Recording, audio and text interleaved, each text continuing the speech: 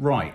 During the week, last week, Nadia and our dear friend Lee headed out to see Cabaret, Cabaret. starring starring who? Eddie Redmayne. And Jessie Jessie Buckley. Buckley. But she wasn't Hang on. on, Eddie Redmayne and Jessie Just- Buckley. I was going to say Jessie Wallace. Jessie Wallace. I was very, very, very disappointed that Jessie Buckley wasn't there. Jessie, if you're watching.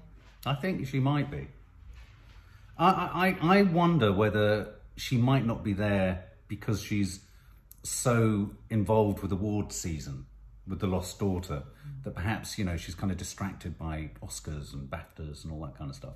Anyway, so it was a huge disappointment, wasn't it, for you and Lee that she wasn't in it? Doesn't mean necessarily... Mostly for me, because Yeah. Lee was mostly there for Eddie Redmayne. But Okay. I really, I, I got the tickets because I wanted to see her. Jessie. Um, Jessie Buckley is an actress who I've been following for quite a few years now. She's she's brilliant. She's been in a, a number of kind of low budget indies.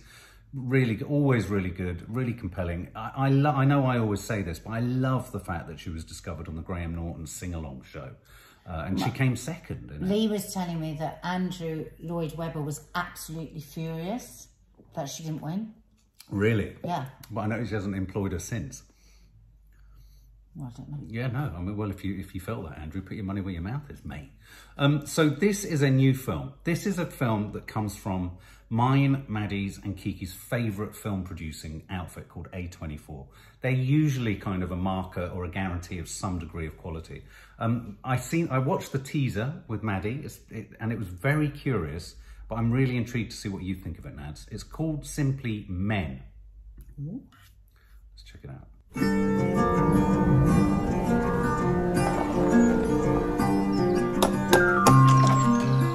Hi. Mrs. Marlowe, yes? Harper, yes. Do, come in. The words I have to say. It's a may be beautiful house. simple, But they're Will it just be you staying, or Excuse me? Mrs. Marlowe? No. Until you give your love, there's nothing more that we can do. Apple from the garden? Yeah, it was delicious. No, no, no, no. Mustn't do that. Forbidden fruit. Oh, God, sorry, I. I, I I'm joking. Oh.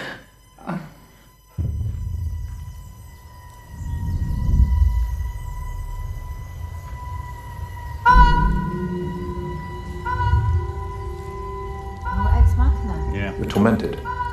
It feels more like. Haunted. Yeah. Something happened.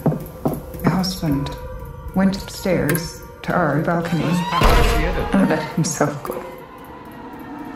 You must wonder why you drove him to it. Why? I didn't drive him to it. I thought it'd be true. But if you had given him the chance to apologize, he'd still be alive. What?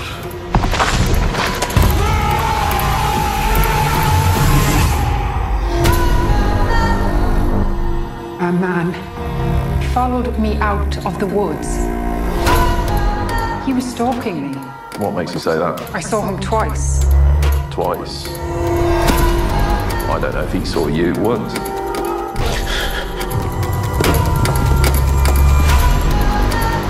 Right, play a game. You hide, I'll see. You must feel an awful sense of guilt. Stay away from me.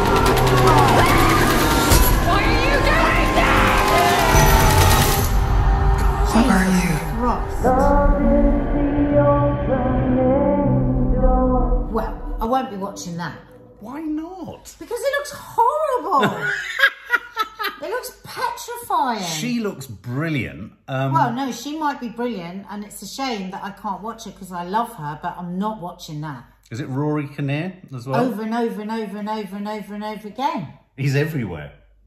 I don't like it. I don't think men are nice in this I film. don't like it. Paapa Essiedu in there as well, of, as the husband who tragically looks like he's thrown himself off the back. Yeah, I forgot to say, it's by the director of Ex Machina, which you liked, didn't loved you? it. was a brilliant film. And brilliant film. Annihilation. Yeah, did you watch Annihilation? No. The girl, that's one of the girls' favourite films. They love the soundtrack. He's a really interesting director. He obviously also, interestingly, wrote The Beach, the film, uh, the book that the film The Beach was based on.